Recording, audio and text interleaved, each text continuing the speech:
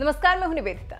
हमारे देश में कई ऐसे मुख्यमंत्री रहे हैं या हैं भी, जिन्होंने जाति धर्म की दीवारों को तोड़कर मोहब्बत भी की और शादी भी रचाई।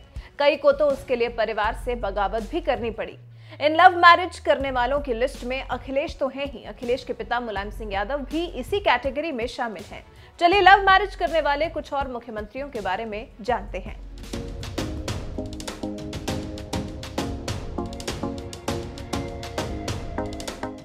अखिलेश यादव।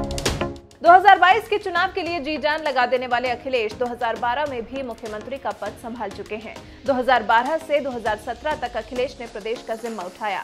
प्रदेश के मुखिया बने। पारिवारिक जीवन की बात करें तो उत्तराखंड की रहने वाली डिम्पल से प्यार में पड़े अखिलेश ने 24 नवंबर उन्नीस सौ निन्यानवे को शादी रचाई थी। अखिलेश यादव की डिम्पल सिंह से इंटरकास्ट मैरिज है।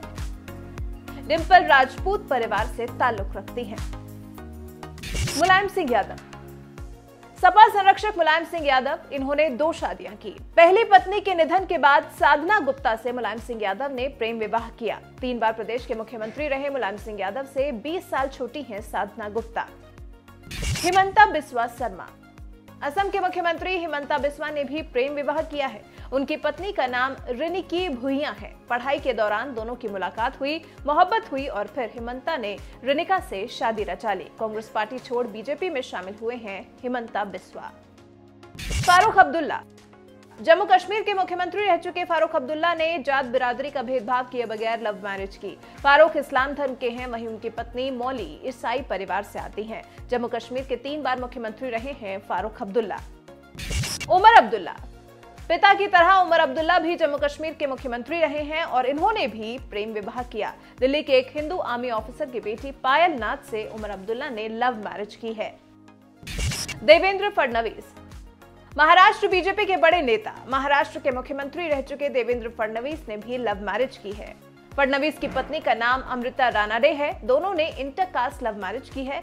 पेशे से बैंकर अमृता व्यस्त रहते हुए भी देवेंद्र के राजनीतिक कार्यक्रमों में हमेशा साथ रहती हैं। सुषमा स्वराज।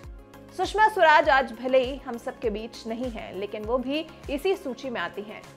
दिल्ली की मुख्यमंत्री रह चुकी सुषमा स्वराज ने स्वराज कौशल के साथ प्रेम विवाह किया था। दोनों कॉलेज में ही एक दूसरे को दिल दे बैठे थे। दिग्विजय सिंह।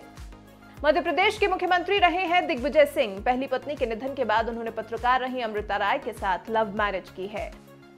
तो ये हैं कुछ ऐसे नाम जिन्होंने जात पात से अलग इस सबसे ऊपर उठकर प्रेम विवाह किया। आप देश के इन मुख्यमंत्रियों को लेकर, इनके प्रेम विवाह को लेकर क्या कहना चाहते हैं? अपनी राय हमारे साथ ज़रूर साझा करें।